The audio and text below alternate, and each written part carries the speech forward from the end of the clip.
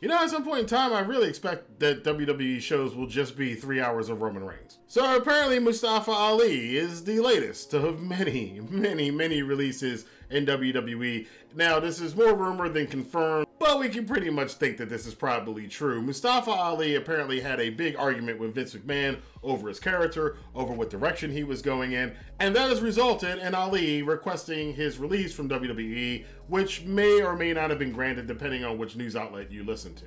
Now, Ali, who was supposed to be on paternity leave for a while, had asked for another day off, and some people were wondering where has he been? Why hasn't he been on Raw? What's the future angles that they had for him? Apparently, there was this new America angle. God, I can only imagine how stupid that was going to be. That Ali was kind of slated for, but then the WWE creative team didn't think it was going to work.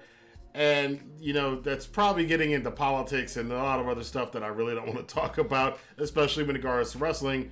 You guys know my feelings about politics and wrestling. I don't think it's necessarily a great thing. But apparently, Ali, and according to his own words, was wondering the same thing himself. Where does he fit in WWE? Where is his voice going to be? And he said that it appears that he's got a bigger message beyond his wrestling career that he wants to get out to the world.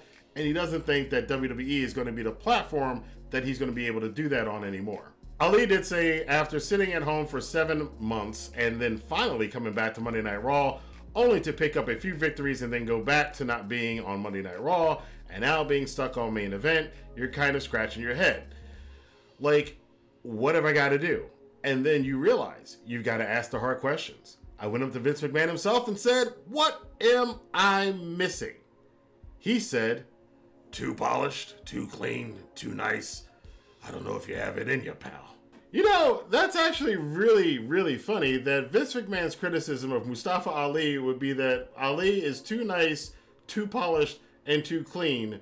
When the objection of me and a lot of pro wrestling fans as to part of the issue we have with watching WWE wrestling shows is because of all the lights and it's too polished and it's too produced and it's too clean for a show that essentially is about people bleeding and sweating and beating each other in the head. But for all accounts, it does appear that Mustafa Ali will be leaving the world of sports entertainment. Now, where is he going to wind up again? Everybody can't be in AEW too. So we've got a surplus of wrestlers just roaming around out there. And at the end of the day, maybe this is a good thing because some of these guys come out of WWE with some star power to them that maybe can be lent to other wrestling companies. But then again, any old days when I started watching wrestling, that absolutely would have worked. It would have drawn crowds, it would have drawn attendance, because back then people watch wrestling for wrestlers as opposed to company labels. But as we all know, we are not in that era right now. But hopefully, we'll, and maybe this is the silver lining on all these releases.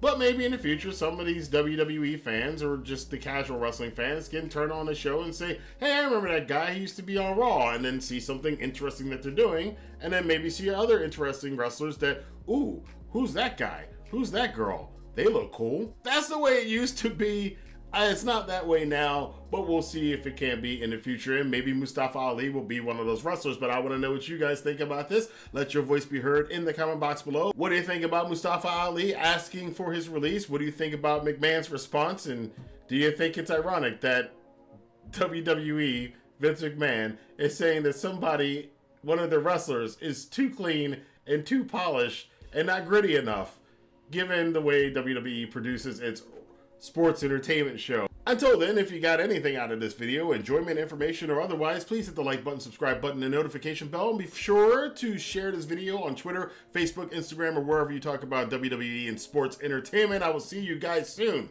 for more news, rumors, commentary, and all other stuff here on the Rantin Review Pro Wrestling. Have a good day.